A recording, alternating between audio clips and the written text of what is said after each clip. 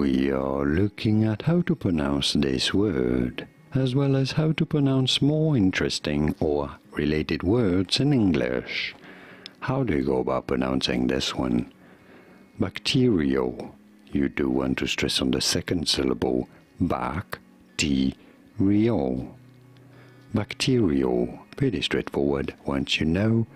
Bacterial. And now you know.